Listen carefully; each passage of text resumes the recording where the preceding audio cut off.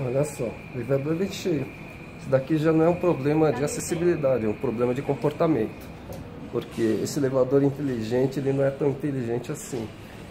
Ele, uma vez que a gente aciona a tecla de acessibilidade, acho que ele devia, depois que desembarcar um pessoal, vir resgatar a gente. Porque aqui, como tem o mirante, todo mundo está subindo por mirante, os elevadores estão vindo cheios.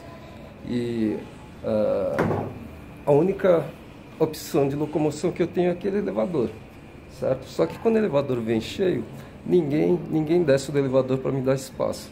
Então esse elevador, uh, o sistema inteligente, ele precisa ser um pouco mais inteligente, certo? Então bloquear o pessoal e vir me resgatar, porque senão, se isso fica num contínuo, eu fico aqui mais 15, 20 minutos até conseguir um elevador. Ou o que eu vou ter que fazer é ir até o funcionário segurança para pedir ele para um funcionário bloquear e vir pegar, uh, vir me pegar aqui, certo? Isso, como eu disse, isso não é um problema de acessibilidade. Os elevadores estão funcionando direitinho.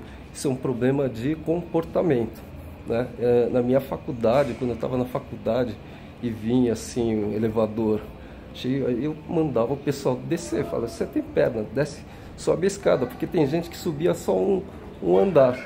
É, então, uh, isso dependendo né, de, de quantas pessoas e também acho que a, a pessoa com deficiência também não quer ficar fazendo isso e pedindo para o pessoal sair, né?